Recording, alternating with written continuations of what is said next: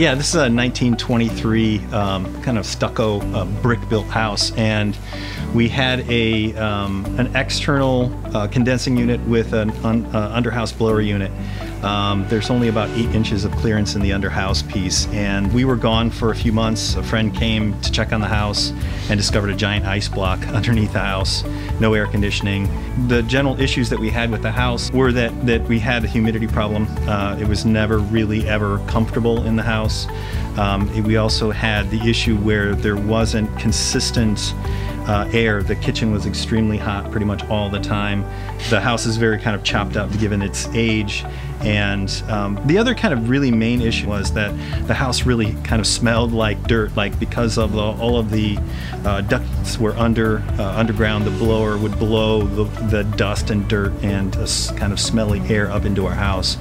So we called uh, Ken and Ryals Brothers, and they came over. The air conditioning was underneath the house.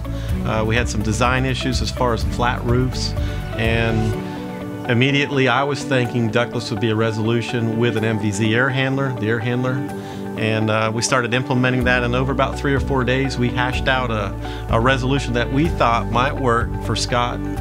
Uh, when Ken came up with this idea. We, we had no idea an air handler could actually handle those five rooms, six rooms. Mm-hmm. And four or five of them, we had air conditioning too, but it wasn't really wasn't effective. working. right, yeah. wasn't effective.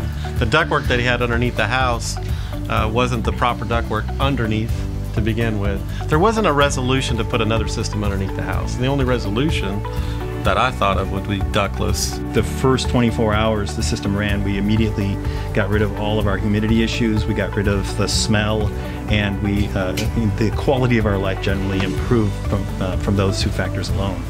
For our customers, we try to pick the products that are that's going to give them the best serviceability. Since we're going to be getting rid of an air handler underneath the house, and we dealt with that whole debacle, we figured we don't want to have to ever deal with that again. So all the systems being exposed and accessible makes a lot of sense to us. We're ultimately looking for what's not going to break down and what design features we can have to, to bring to our customers, and that's what we've done on this project.